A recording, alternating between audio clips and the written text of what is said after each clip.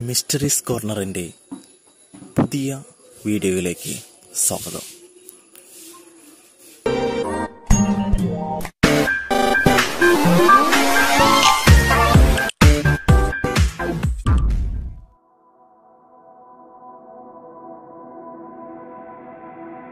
ഇന്ന് നമ്മൾ പറയാൻ പോകുന്നത് ബ്ലാക്ക് ഹോളുകളെ പറ്റിയും വേം ഹോളുകളെ പറ്റിയുമാണ്.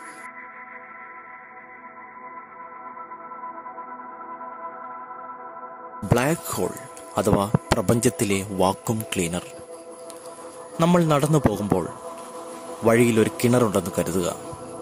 അടുത്തെത്തുന്ന ആരെയും ഉള്ളിലേക്ക് വലിച്ചിടുന്ന എന്തിനേയും ഉള്ളിലേക്ക് വലിച്ചിടുന്ന അത്യാഘാതമായൊരു കിണർ.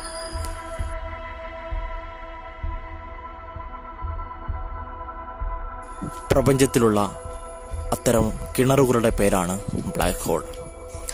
ഇതിൽ വീഴുന്ന വസ്തു പിന്നീട് ഒരിക്കലും പുറം ലോകം കാണില്ല.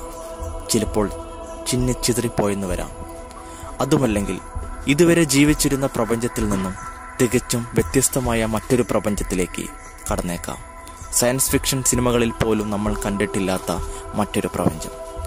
മനുഷ്യന്റെ എല്ലാ സങ്കല്പങ്ങൾക്കും അപ്പുറമാണ് ബ്ലാക്ക് ഹോൾ അഥവാ തമോഹർത്തം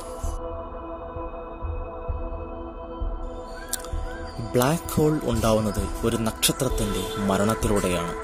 അതായത് ആയുസെത്തുമ്പോൾ ഒരു നക്ഷത്രം സ്വയം ചുരുങ്ങി ചുരുങ്ങി ഒരു തമോകർത്തമാകുന്നു സൂര്യനെയും വേണമെങ്കിൽ ഒരു തമോഗർത്തമാക്കാം. വെറും ആറ് കിലോമീറ്റർ വ്യാസമുള്ള ഒരു ഗോളമായി സൂര്യൻ ചുരുങ്ങുമെന്ന് മാത്രം. അതായത് ഒരു വസ്തു വസ്തുവിന് അതിന്റെ പിണ്ടമനുസരിച്ച് നിശ്ചിതമായ വലുപ്പത്തിലേക്ക് ചെറുതാകാമെങ്കിൽ അവയ്ക്കൊരു തമോഗർത്തമാകാം. ഈ അവസ്ഥയിൽ ബഹിരാകാശത്തിലെ അതിശക്തമായ ഗുരുത്താകർഷണ ബലമുള്ള ഒരു സ്ഥലമായി അവ മാറും. വെളിച്ചം ഒരു വസ്തുവിൽ തട്ടി തിരിച്ചു വരുമ്പോഴാണല്ലോ നാം ആ വസ്തുവിനെ കാണുക. എന്നാൽ ബ്ലാക്ക് ഹോളിൽ എത്തുന്ന വെളിച്ചത്തെയും അത് വലിച്ചെടുക്കുന്നു. അതിനാൽ ബ്ലാക്ക് ഹോളിനെ നമുക്ക് സാധാരണഗതിയിൽ കാണാൻ സാധ്യമല്ല.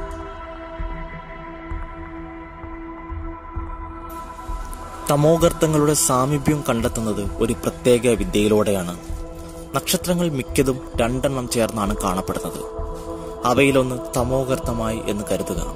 മറ്റൊന്ന് അരുണഭീപൻ എന്നും നമുക്ക് വിളിക്കാം. വൈകാതെ തമോഗർത്തം അരുണഭീമനെ അകത്താക്കാൻ തുടങ്ങും. എത്ര അകത്താക്കിയാലും തമോഗർത്തത്തിന്റെ അവസ്ഥയ്ക്ക് മാറ്റം വരില്ല. അടുത്തുള്ള നക്ഷത്രത്തിൽ നിന്നും തമോഗർത്തം ശക്തിയായി ദ്രവ്യം വലിച്ചെടുക്കുമ്പോൾ നക്ഷത്രം പലതരം രശ്മികൾ പുറത്തേക്ക് വിടും. എക്സ്റേകളോ ഗാമാ രശ്മികളോ ഒക്കെ ആവും അത്.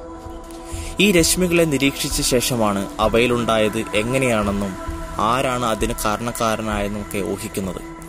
ശക്തിയേറിയ എക്സ്റേ വരുന്ന ഭാഗത്ത് ഒരു തമോഗർത്തം കണ്ടേക്കുമെന്ന് ഏറെക്കുറെ ഉറപ്പാണ്.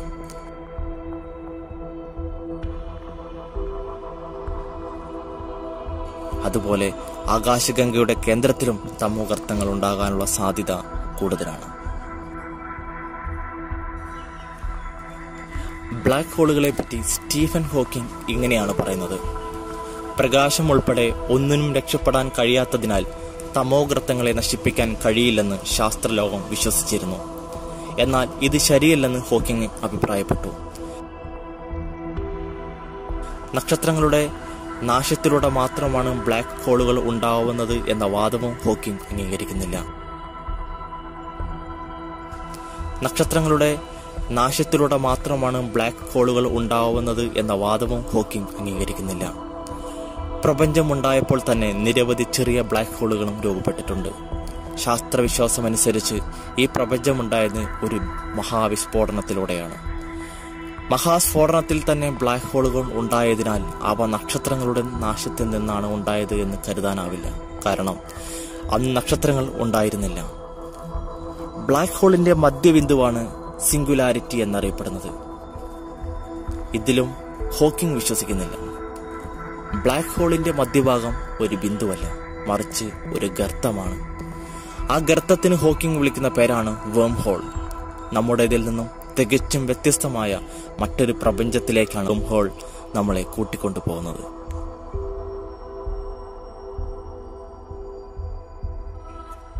വേം ഹോൾ അഥവാ പ്രപഞ്ചത്തിലെ കുറുക്കുവഴി ക്രിസ്റ്റഫർ നോളന്റെ ഇൻഡസ്റ്റെല്ലർ എന്ന സയൻസ് ഫിക്ഷൻ സിനിമയിൽ ശാസ്ത്രീയമായ അബദ്ധങ്ങൾ ഉണ്ടെങ്കിലും ഒരു മികച്ച ഉദാഹരണത്തിലൂടെ വേം ഹോൾ എന്താണ് എന്നുള്ള ധാരണ സാധാരണക്കാരന് മനസ്സിലാക്കി തരുന്നുണ്ട്. ഒരു വെള്ള പേപ്പർ എടുക്കുക. ഏറ്റവും മുകളിൽ ആ പേപ്പറിൽ എക്സ് എന്ന ചിഹ്നമിടുക. ഏറ്റവും താഴെയും എക്സ് എന്നുള്ള ചിഹ്നമിടുക. മുകളിലത്തെ എക്സിൽ നിന്നും താഴത്തെ എക്സിലേക്ക് വരാൻ നടുവിലൂടെ സഞ്ചരിക്കണം. എന്നാൽ ആ പേപ്പർ ഒന്ന് കുറുകെ മടക്കി നോക്കൂ. ഒറ്റ മില്ലിമീറ്റർ പോലും സഞ്ചരിക്കാതെ എക്സ് വണ്ണിൽ നിന്നും എക്സ് ടുവിലേക്ക് കൂട്ടിമുട്ടിക്കുവാൻ സാധിക്കും. ചുരുക്കി പറഞ്ഞാൽ സ്പേസ് ടൈമിലൂടെ പ്രപഞ്ചത്തിന്റെ ഒരു ഭാഗത്ത് നിന്ന് മറ്റൊരു ഭാഗത്തേക്കോ അല്ലെങ്കിൽ പ്രപഞ്ചങ്ങൾ തമ്മിലോ ഒരു കുറുക്ക് വഴി അതാണ് വേം ഹോൾ അതിന്റെ സാധ്യതയെപ്പറ്റി ആദ്യം പ്രവചിച്ചത് സാക്ഷാൽ ആൽബർട്ട് ഐൻസ്റ്റീനും നാഥാൻ റോസിനുമാണ്. ആപേക്ഷിക സിദ്ധാന്തത്തിലൂടെ സ്പേസ് ടൈമിലൂടെ ഒരു പാലം നിർമ്മിക്കാൻ കഴിയുമെന്നും ഈ പാലത്തെ ഐൻസ്റ്റീൻ റോസൻ ബ്രിഡ്ജ് അഥവാ വേം ഹോൾ എന്നവർ വിളിച്ചു. വേം ഹോളിന് രണ്ടറ്റമുണ്ടെന്നും നീണ്ടുരുണ്ട ഒരു ടണൽ കൊണ്ട് അവ ബന്ധിക്കപ്പെട്ടിരിക്കുന്നു എന്നും ഈ സിദ്ധാന്തം പറഞ്ഞു വയ്ക്കുന്നു. ഗണിതശാസ്ത്രപരമായി ആപേക്ഷിക സിദ്ധാന്തം ഇവയിലൂടെ സാധ്യത പ്രവചിക്കുന്നുണ്ടെങ്കിലും ഇതുവരെ വേം ഹോളൊന്നും കണ്ടെത്താൻ കഴിഞ്ഞിട്ടില്ല. നേരത്തെ സ്റ്റീഫൻ ഹോക്കിംഗ് ബ്ലാക്ക് ഹോളിന്റെ മധ്യത്തിലെ വേം ഹോളിന്റെ സാധ്യതയെപ്പറ്റി പറഞ്ഞത് ഓർക്കുമല്ലോ. ആപേക്ഷിക സിദ്ധാന്തവും മറ്റൊരു രീതിയിൽ ഇത് ശരിവയ്ക്കുന്നുണ്ട് അതായത് ആപേക്ഷിക സിദ്ധാന്തം അനുസരിച്ച് വേം ഹോളിന്റെ രണ്ടറ്റത്തും ഓരോ ബ്ലാക്ക് ഹോൾ ഉണ്ടാകുമെന്ന അർത്ഥം. എന്നാൽ മരിച്ച ഒരു നക്ഷത്രത്തിന്റെ ബ്ലാക്ക് ഹോൾ വേം ഹോൾ ഉണ്ടാക്കില്ല എന്നും സിദ്ധാന്തം പറയുന്നുണ്ട്. വേം ഹോളുകളിലൂടെയുള്ള സഞ്ചാരം. സിനിമകളിലെ പോലെ നമ്മൾ അത്രത്തോളം ശാസ്ത്ര പുരോഗതി നേടിയെന്നിരിക്കട്ടെ. എന്നാൽ പോലും വിചാരിക്കുന്നത്ര പോലെ എളുപ്പമല്ല സംഗതികൾ. ഇതുവരെ ഒരെണ്ണം കണ്ടെത്തിയിട്ടില്ല എന്നത് മാത്രമല്ല കാരണം. ഒന്നാമത്തെ പ്രശ്നം വേം ഹോളിന്റെ വലിപ്പം തന്നെ. ആപേക്ഷിക സിദ്ധാന്തം പ്രവചിക്കുന്ന വേം ഹോളിന്റെ കഴുത്തിന്റെ വലിപ്പം തന്നെ മനുഷ്യന്റെ സാമാന്യ ബുദ്ധിക്ക് നിരക്കുന്നതല്ല. അടുത്ത പ്രശ്നം വേം ഹോളിന്റെ സ്ഥിരതയാണ്. സിദ്ധാന്തമനുസരിച്ച് ഈ പാലം വളരെ വേഗം പൊളിഞ്ഞു പോകും. എന്നാലും ഏറ്റവും പുതിയ പഠനങ്ങൾ പറയുന്നത് ഒരു അന്യദ്രവ്യം ആ വേം ഉണ്ടെങ്കിൽ കുറ- കുറെ സമയത്തേക്കെങ്കിലും അത് പൊളിയാതെ നിലനിൽക്കുമെന്നാണ്.